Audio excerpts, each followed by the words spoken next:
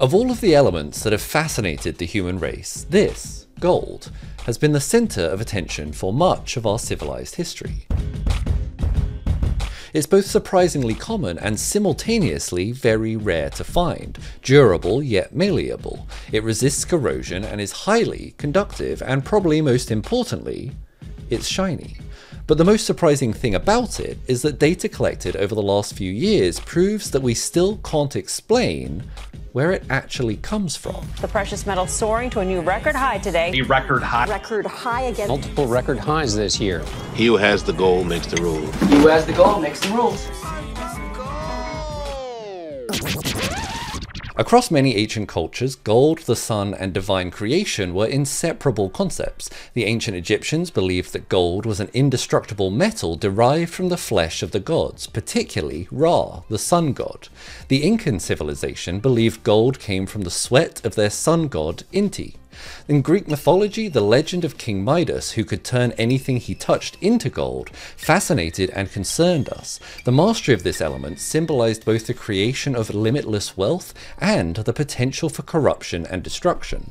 This didn't stop a multi-century long pursuit though, from ancient Greek to 19th century alchemists to even Isaac Newton himself, to find the origin of the Philosopher's Stone, a legendary substance believed to have the ability to transform base metals like lead into gold or silver, and even the power to grant immortality through the elixir of life. History isn't without a sense of irony. After almost a millennia long pursuit of trying to find gold, interest in transmutation ebbed and faded. Just a hundred years later, though, we finally worked out how to do it.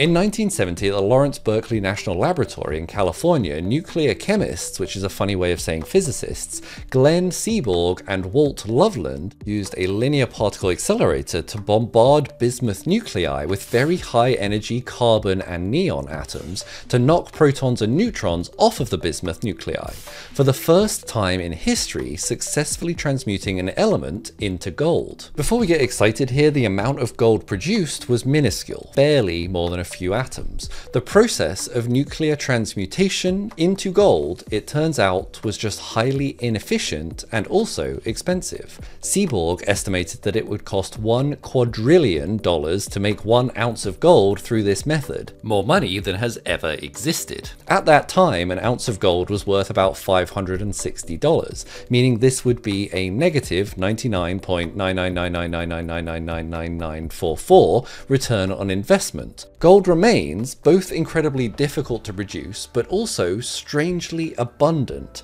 The Earth's crust alone contains 1.6 parts per million of gold. Given that Earth's crust has a mass of about 2.2 times 10 to the 19 metric tons, this implies that there are about 35 million metric tons of gold in the Earth's crust alone. As a species, we've extracted around 200,000 metric tons of gold, roughly equivalent to just over four Olympic-sized swimming pools full of gold, which would be worth around $11.6 trillion. So if it's so hard to produce, why do we have so much of it? And where does it all come from? Well, it turns out that our ancestors' association with gold and the sun was actually a really good starting point. The roaring inferno at the center of a star.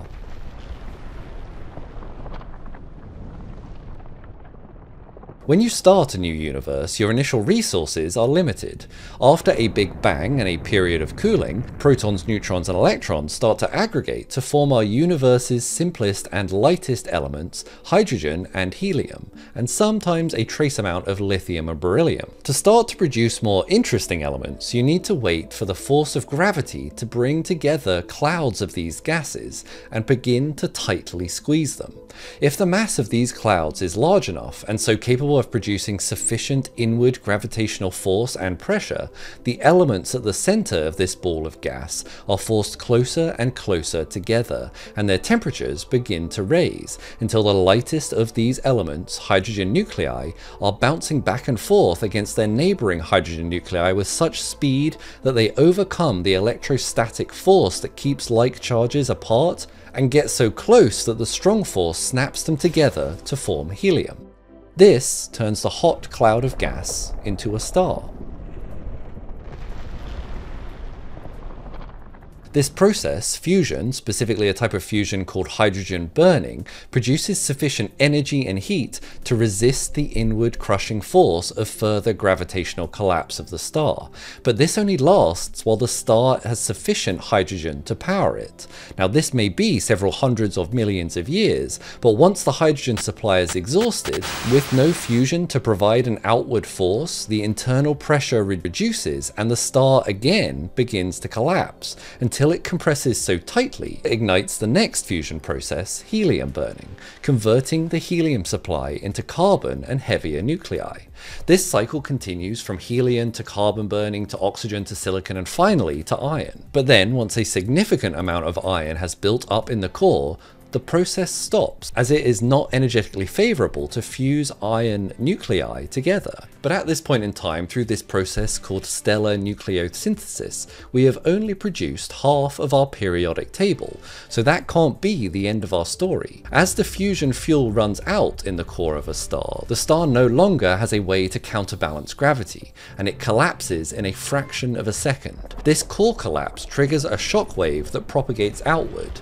That event is so violent violent that the outer layers rebound off of the core in a massive explosion, a Type 2 supernova. From this explosion, one of the most violent events in the universe, we get two things. Number one, we get some further nucleosynthesis of heavier elements than iron, nickel, cobalt, copper, zinc, even some gold, platinum, and uranium. But when we look closely at these events, even though the pressure and temperatures are immense during a supernova, these conditions only last for a very short time before the matter is flung apart across the universe, and ultimately, these are very low efficiency processes, meaning they don't produce enough material to explain the level of abundance of gold in our universe.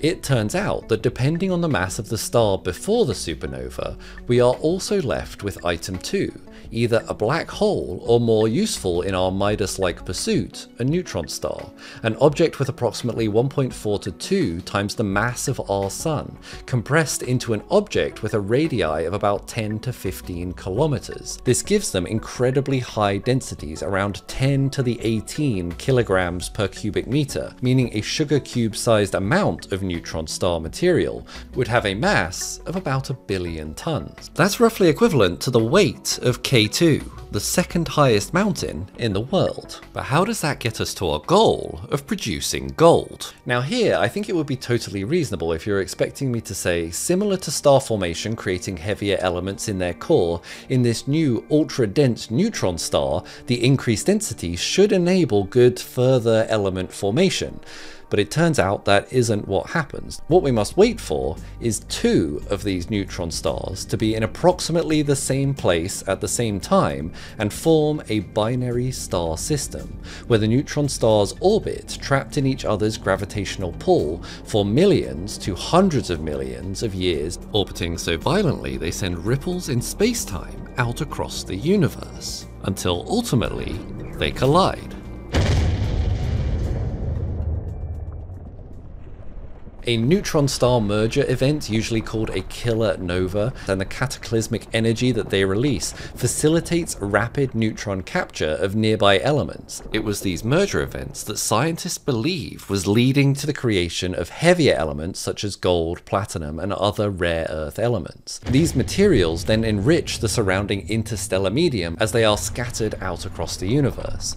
These scattering events glow in their aftermath of the event through radioactive decay and thermal heating. And in addition to the gravitational waves, it is this thermal signature that we can detect on Earth. Our conviction that these relatively rare kilonova events accounted for somewhere between 80 to 100% of gold formation in our universe felt theoretically sound, but it wasn't until 2017 that we had the opportunity to see one in action. On August 17, 2017, the LIGO and Virgo gravitational wave detectors picked up signal GW170817, followed almost immediately by a short period gamma ray burst, the AT 2017 GFO Kilonova event. As the two neutron stars collided, they emitted a massive cloud of heavy elements.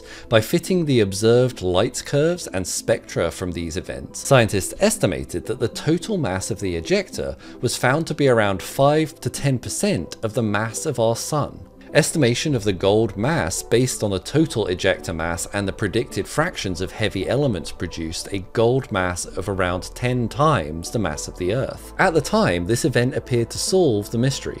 It seemed that the vast majority of gold, as well as other heavy elements, were primarily produced in neutron star merger events. There's a famous video from around the news release where a research team member says, The gold in this watch was very likely produced in the collision of two neutron stars. However, as there often is with physics, there was a catch. As we have continued to observe the universe over the past seven years since the 2017 event, discrepancies have begun to emerge. As of today, despite several years of additional observation time and detection of many other gravitational merger events, most of them black hole black hole mergers, only one other binary neutron star merger event has been observed, which, following this rarity, extrapolated out to the rest of the universe, would mean these events weren't common enough to explain gold's abundance. The other slightly damning piece of evidence here was that the one other neutron star merger event that we did observe did not produce any heavy elements. Just when we thought we had finally found gold's origin,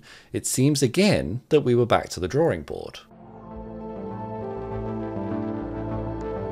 There are, of course, several possible solutions to explain the discrepancies in our observations. Maybe the frequency of the neutron star merger events is evolving, and it was more common in the past, explaining why the universe previously was so good at generating gold. Or perhaps it's that the most energetic Type 2 supernova create more heavy elements than we previously calculated or observed. Or maybe, during the latter stages of a star's life, a slow neutron capture process allows elements to advance up the periodic table to produce those heavier elements we see today. Regardless of the explanation, each of these theories has their own flaws that don't quite match current theory or current observations. It may be that the 2017 event was just incredibly rare and we were very lucky to see it. Or it might be the reverse, that we've been unusually unlucky in the last seven years not to see another one. The science of uncertainty here is difficult to understand which way we are biasing ourselves. What it leaves us with is another step in the story written by humanity over thousands of years to understand where this mystical, rare but abundant element actually comes from. At worst, maybe this is an explanation why the recent price of gold is skyrocketing. If you like this video, you might be interested in the breakthrough that led us to understand how the force that holds these neutrons and protons together to actually form gold inside an atom actually works. Check it out here. As always, thank you very much for watching. I'll see you guys next week. Goodbye.